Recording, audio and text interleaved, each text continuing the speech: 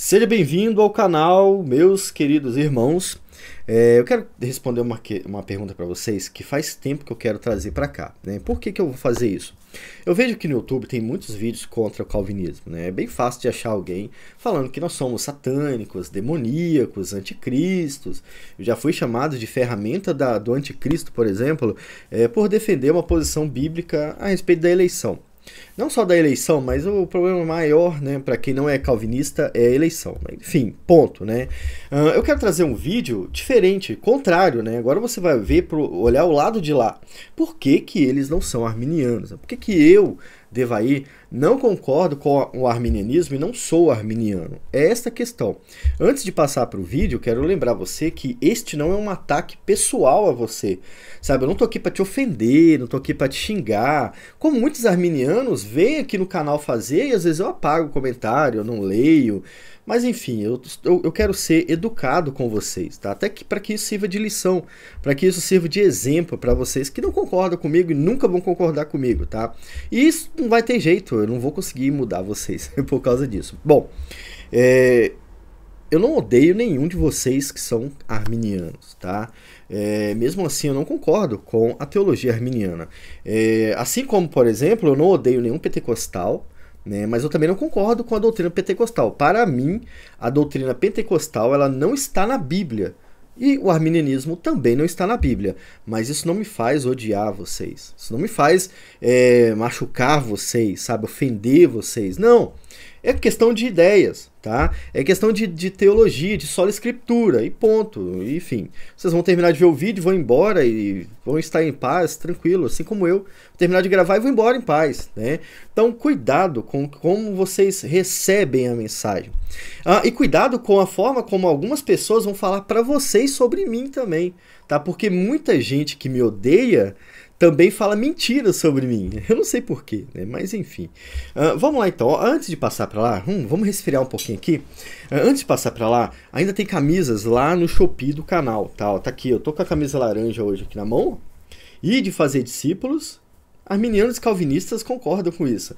E aqui é, vinde a mim todos que estáis cansados oprimidos. Como um calvinista vai falar isso? Vinde a mim. É Bíblia, meu amigo. A gente defende a Bíblia, né? Uh, eu estou usando a azul ali, a laranja, e tem outras estampas lá, tá? O link está aqui no, na descrição do vídeo. Ah, se você gosta desse tipo de conteúdo, também se inscreva no canal, que tem um monte assim, né? Vai sair mais daqui para frente, tá bom? É, tem dois livros do canal, Tá tudo na descrição. Tem dois livros do canal, tem o podcast do canal também. O que é o podcast do canal? No podcast você vai ouvir os vídeos, tá? Você tá ocupado, vai não consigo ouvir vídeo de mais de 20 minutos. É, a tela do celular tem que ficar ligada, isso é incômodo, realmente é incômodo. Por isso, eu criei o podcast EATRE lá no Telegram. Então instala o Telegram, entra no canal, o link tá na descrição também, beleza? Você vai poder ouvir os vídeos e cara, é muito melhor. Eu concordo com vocês, é muito melhor ouvir do que ficar me assistindo, tá? É, é mais prático. Você tá lavando vasilha, você tá trabalhando, tá dirigindo, tá no trânsito. Ah, já falando para quem tá me ouvindo, né? Olá, você tá me ouvindo, né? E no podcast. É muito mais prático, tá bom? E compartilhe essa ideia para mais pessoas, beleza? Ó, vamos então aqui na tela. Eu quero ler um pouco sobre a história de Armínio e aí passar para a grande questão. Né? Acabei abrindo a tela errada, a tela certa é essa aqui. Já mostrando aqui, ó, Calvinismo para Arminianos é um estudo aqui da área de membros, onde eu falo sobre o calvinismo para pessoas que chegam é, arminianas ainda, né? ainda não entenderam nada. Então é bem básico, é bem interessante, tá? E é respeitoso também, tá? Eu não fico ofendendo ninguém nos estudos, possam, podem fazer à vontade. Olha aqui, esse link que eu achei é do britannica.com. É um site inglês, onde eu achei a parte da história de Armínio que eu queria trazer para vocês para conversar sobre o porquê eu não concordo com o arminianismo, tá bom? É, ele, ele escreve o seguinte: Considerado um homem de temperamento brando, Armínio, é, Armínio foi forçado a uma controvérsia contra sua própria escolha. O que acontece? Armínio foi forçado a debates. E não é que só Armínio foi forçado. Naquela época isso era comum, tá? Eles colocavam calvinistas contra é, pelagianos católicos católicos para debater. Armínio foi, é, Lutero foi, né? enfim, os reformadores eram pressionados, porque a católica ainda estava tentando tomar o espaço que perdeu, e ela fazia isso com os debates, tá bom? Isso aconteceu muito na época da reforma, é, até um tempo depois, e Armínio participou disso, ele foi forçado a essa controvérsia. Armínio tinha um temperamento brando, ou seja, ele não, ele era calmo, ele não gostava disso, entende? Armínio não queria bagunça, é, e ele estava certo, estava certo, quem estava errado eram os, os reformados, eles é que erraram no caso de Armínio, tá? Ele já havia afirmado a visão calvinista da predestinação, que afirmava que os eleitos para a salvação eram assim escolhidos antes da queda de Adão. Armínio era calvinista nesse sentido, tá? Mas gradualmente ele passou a ter dúvidas sobre esse ensinamento, para que ele não é, para que ele aliás, para ele, a predestinação oferecia uma posição muito dura, porque não oferecia um lugar para o exercício do livre-arbítrio humano no processo da salvação. Horas, justamente o que os pelagianos, justamente o que o outro lado pensava. Então veja o que, que Armínio fez. Armínio começou a ser movido pelos seus próprios inimigos, inimigos intelectuais, claro. Não sei se ele odiava esses caras, mas ele começou a ser balançado pelo que os caras falavam. E este é o problema da teologia arminiana, sabe? É, ela acabou se adaptando ao seu inimigo. E aí depois disso, não está aqui, acho que não está nesse texto, eu, eu vi em outro texto. Depois disso, os calvinistas erraram mais uma vez, começaram a falar que Armínio tinha virado pelagiano, que ele estava pregando errado, e isso abalou Armínio, porque Armínio era um cara tranquilo. Ele não era um cara desse explosivo. Se fosse Lutero, por exemplo, Lutero tinha comido vivo aqueles caras, porque Lutero era muito revoltado, era muito nervoso, né? No bom sentido. Óbvio, no bom sentido, né? Mas Armínio era um cara calmo e pressionaram Armínio. Esse é um dos problemas dos debates, tá? Agora, por que, que eu não concordo com o arminianismo? É, lembrando que as ideias de Armínio originais era justamente que o homem colaborava com a salvação. Deus oferecia o, a, a graça salvífica e o homem tinha que dar o último passo, né?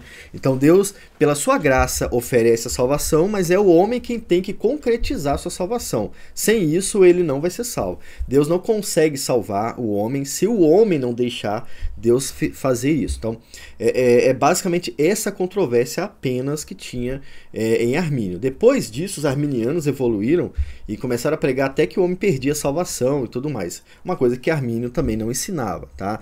Hoje em dia, o arminianismo não é mais arminiano. O arminianismo ele já é praticamente pelagiano. Há poucos arminianos do Brasil, tá bom? E eles estão nessa pressão também para se tornar pelagianos como maioria. Então, olha só, primeira coisa, eu não concordo com o arminianismo porque ele surge justamente como uma controvérsia no povo de Deus. Armínio foi pressionado emocionalmente pelos seus inimigos e isso balançou a vida de Armínio, tá? Armínio repensou aquilo que a Bíblia ensinava e decidiu escolher o que eles acreditavam. Entende? O que vocês estão vendo aqui na tela é a mesma coisa que o pelagianismo ensinava. Só que é mais tranquilo, é mais light, digamos assim, mas é pelagianismo, tá? O homem é que tem que se salvar. Aí isso vai passando por um processo de é, cultura, vai diminuindo a, a, pressão dessa mensagem, chega no arminianismo, né? Então, é, o problema do arminianismo hoje é que ele se adapta às ideias do mundo, entende? E é isto que faz com que eu não concorde com o arminianismo. É, a lógica do mundo é qual? Poxa, Deus quer salvar o mundo todo, né? São vocês que não querem aceitar Jesus, né? Então a, a lógica do mundo ensina que Deus ele ele quer salvar, mas ele não pode porque o homem não deixa, tá? É, e isso faz sentido para o mundo, mas não para a Bíblia, né? A Bíblia é realmente um livro difícil de entender. Ela é difícil de aceitar, aliás, de entender não. E Paulo vai falar sobre isso.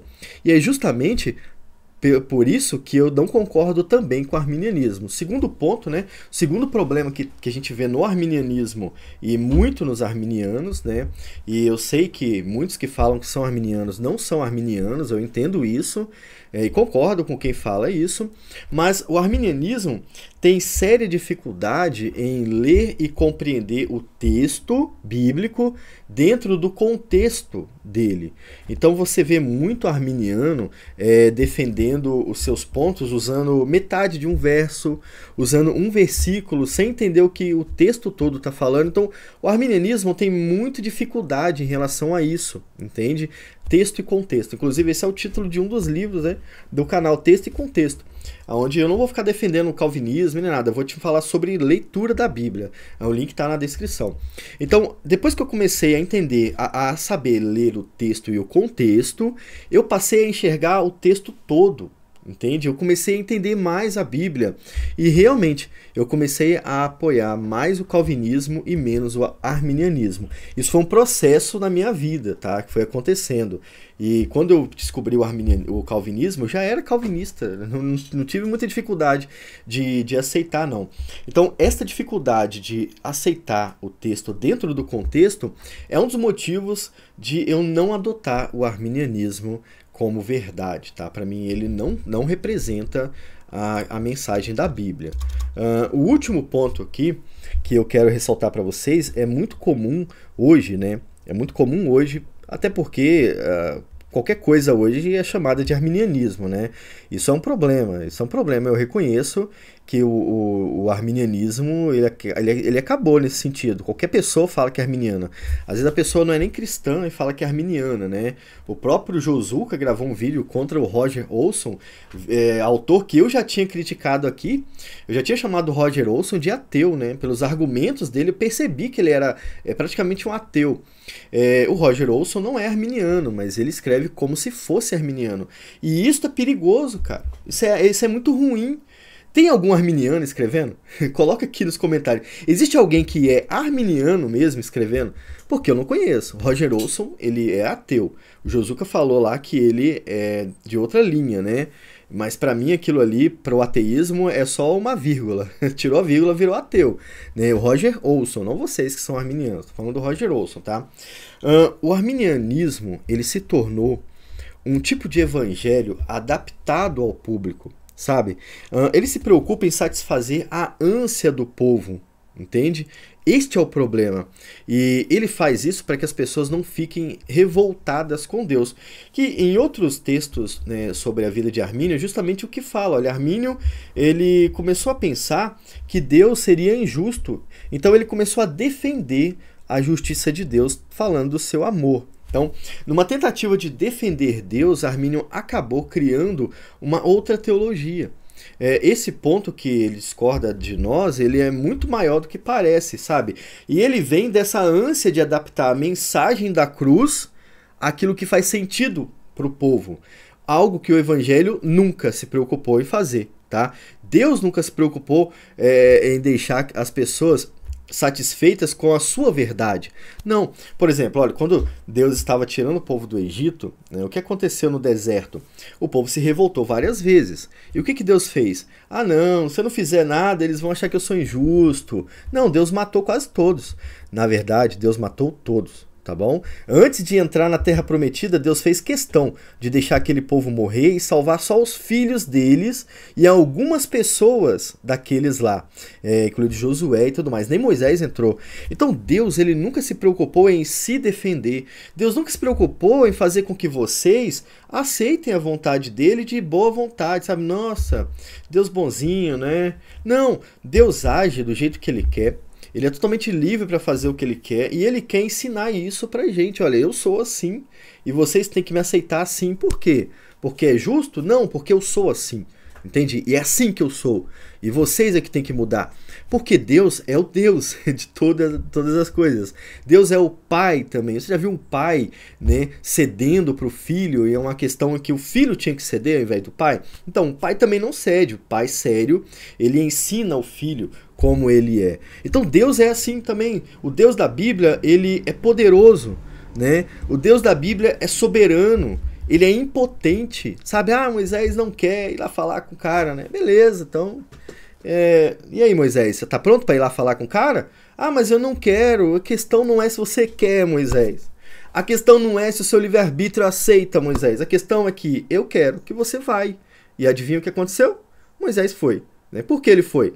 Porque era Deus que estava mandando, não era eu. Tá? Era Deus que estava mandando. Então, esse é o Deus da Bíblia. Agora, o arminianismo ele tenta adaptar o Deus àquilo que as pessoas estão prontas para receber sobre Deus, sabe? É, é interessante que isso cria muita gente que gosta do evangelho, mas muita gente que nunca, não, nunca vai conhecer o Deus verdadeiro, entende? Porque ele está sempre escondido ali, né? Agora, quando uma pessoa mundana, por exemplo, começa a ler a Bíblia, é, texto e contexto, aí ele vai perceber, opa, esse cara aqui, esse Deus aqui é ruim, né? A pessoa mundana vai entender que Deus é ruim. Nós dizemos que Deus é justo. A pessoa do mundo entende que Deus é ruim. Por quê? Porque ele está debaixo da sua justiça. O mundano está sofrendo com a justiça de Deus. O mundano não está amando Deus, não. Ele está é, sofrendo. Tá? E, e, quando você vai para o arminianismo, o, o, eles tentam fazer um, um cristianismo é, macio o cristianismo gostoso, sabe? Olha, você tem que ajudar Jesus, você tem que amar Jesus porque ele sofreu por você. Jesus deu a vida para você, ele te ama. Tá falando lá pro cara que vai se prostituir depois, né? Porque não aceita Jesus e não quer nada com Jesus e vai lá, Jesus me ama, então eu vou me prostituir do jeito que eu quero. Jesus me ama. Então, olha só, isso é muito problemático. Quando Paulo fala sobre evangelho, o que que Paulo fala? O evangelho, gente, é loucura para o mundo. Para de tentar adaptar o evangelho ao mundo. O mundo não vai entender o evangelho. Só vai entender o evangelho quem crê em Jesus. Só quem for transformado pelo Espírito Santo. E o mundo vai rejeitar o evangelho. O evangelho que o mundo rejeita é o poder de Deus para a salvação de todo aquele que nele crê. Entende? Não daquele que acha sentido no evangelho, mas de quem crê no evangelho. Então, é por isso que eu não sou arminiano e não concordo com o arminianismo. A mensagem da cruz, ela é loucura para o mundo e ela tem que ser loucura para o mundo porque Deus quis que fosse loucura para o mundo, tá bom? Vejam que eu não ofendi nenhum de vocês, não xinguei nenhum de vocês e nem odeio nenhum de vocês, tá bom? Essas são as razões pelas quais eu não concordo com arminianismo. Ponto final. É só isso, beleza? Vou, vou acompanhar vocês no comentário e depois eu vou fazer um vídeo respondendo aos comentários de vocês, tá? Fique com Deus. Se você gosta desse tipo de vídeo, como eu já disse, se inscreva aqui no canal porque vai ter mais, tá bom? Uh, até mais. Tchau.